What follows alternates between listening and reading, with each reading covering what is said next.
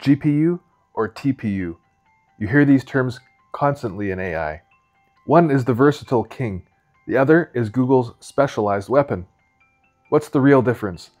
And why is their rivalry a multi billion dollar war shaping our future? Let's check out the technology and the strategy. Welcome. Today we're looking into GPUs and TPUs, the engines powering AI.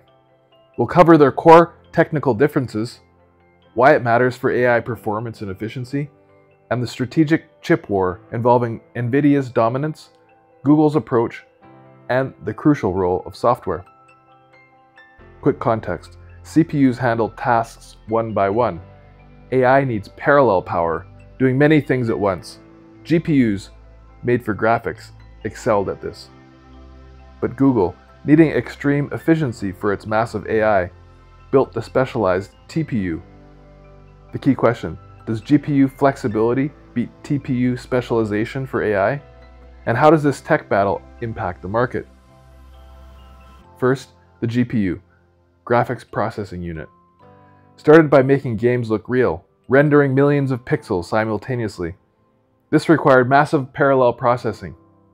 GPUs have thousands of flexible cores, like many workers tackling parts of a big job at once. Researchers revealed this parallel power was perfect for AI's math. They handle various calculations well and are widely available everywhere laptops, cloud servers, you name it. GPUs are flexible, widely accessible parallel processors, adapted brilliantly for diverse AI tasks. Their strength is versatility. So if GPUs work well, why did Google build something else? The TPU. Google needed maximum AI efficiency at scale, so they built the TPU, Tensor Processing Unit, an ASIC, a chip designed only for AI's core math, especially massive matrix multiplications, often referred to as tensor operations. Think of tensors simply as the multidimensional data arrays AI models crunch through. Think of the GPU like a complex Swiss Army knife, packed with different tools, highly versatile. The TPU, on the other hand, is like a powerful, specialized wrench designed only for one specific type of bolt, but does it incredibly fast and efficiently. TPUs use optimized internal hardware like matrix multiply units to perform AI calculations incredibly fast. They often use lower numerical precision like bfloat16 or int8, boosting speed with minimal impact on AI results, because deep learning models are often surprisingly resilient to these slight variations in numerical precision. Google keeps developing these chips like the Trillium TPU, showing their commitment to this specialized approach for their own massive needs. TPUs are purpose-built AI accelerators optimized for speed and power efficiency on specific tensor math, primarily within Google's ecosystem. Their strength is specialization.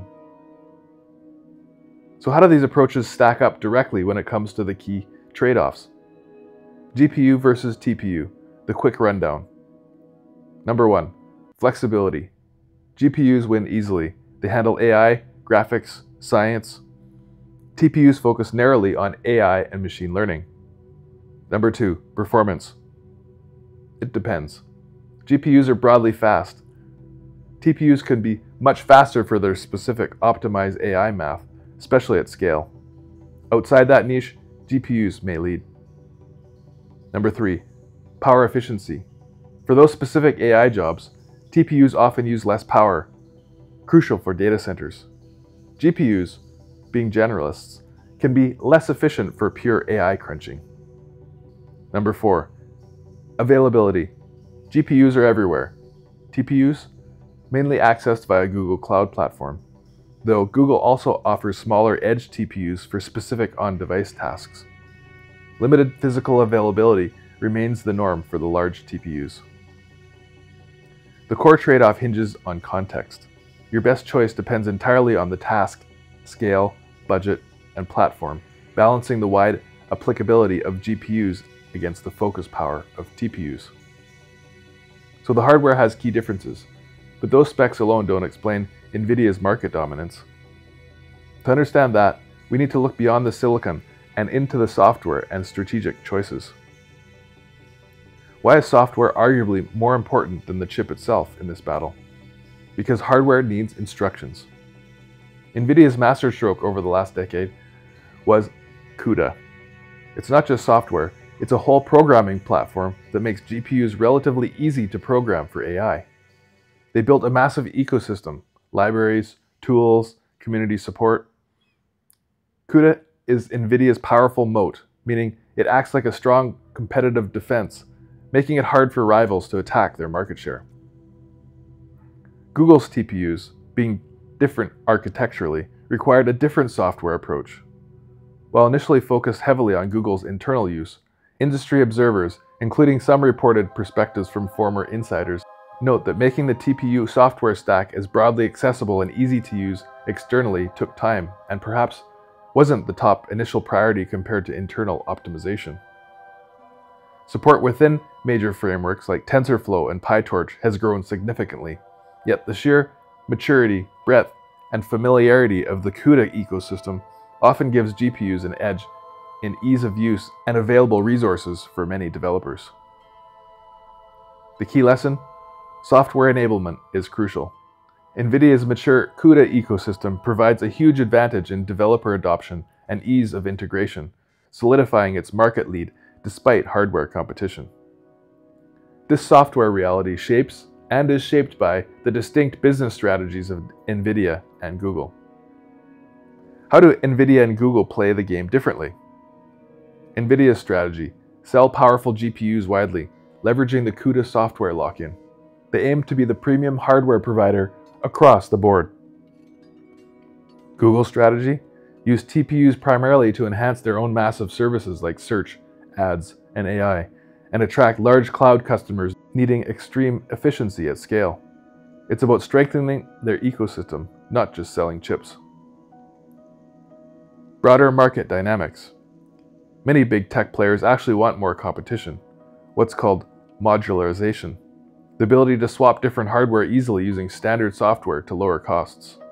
NVIDIA's integrated CUDA model resists this. Google's TPU ecosystem is also integrated, but mostly within its own cloud. Who uses TPUs most effectively? Often large AI startups or enterprises with significant engineering resources operating at scale, especially on Google Cloud, who can invest effort to optimize for TPUs to gain cost or performance advantages. For smaller teams or those needing flexibility, the GPU path via CUDA is often simpler. So, distinct strategies. NVIDIA's broad hardware push via CUDA versus Google's strategic ecosystem focusing on TPUs. User choice often depends on scale, resources, and platform commitment. It's a clash of strategies. Which approach do you think will be more dominant in AI's future? Broad platform control or deep ecosystem integration? Tell us your thoughts in the comments. So, who wins the GPU versus TPU war? The real answer? It depends on context. Choosing the best chip hinges on your specific project needs, operational scale, budget, and ecosystem choice. Balancing the broad flexibility and accessibility offered by GPUs against the focused efficiency TPUs can deliver for specific large-scale tasks. And the story keeps evolving. For tasks where sequence matters most, where order is critical, even GPUs and TPUs might not be the absolute perfect fit. This fuels research into other specialized chips, like the LPU concept mentioned in some discussions. Designed specifically for sequential data. Think predicting the next note in a song or the next move in a complex strategy game. Expect a future with a diverse toolkit of AI hardware, not just one winner. Want to unlock the power of AI? Our free newsletter gives you the tips, trends, AI news, and tools you need to succeed. Sign up with the link in the description below.